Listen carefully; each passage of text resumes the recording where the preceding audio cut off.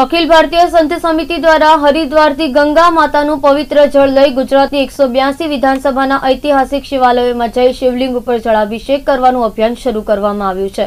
જે અંતર્ગત અખિલ ભારતીય સંત સમિતિના તાપી જિલ્લાના પ્રમુખ મગનભાઈ મહારાજ સહિતના હોદ્દેદારોએ કાવડ યાત્રા કાઢી તાપી જિલ્લાના શિવાલયોમાં પહોંચી શિવલિંગ ઉપર જળાભિષેક કરી અને પૂજા અર્ચના કરી હતી.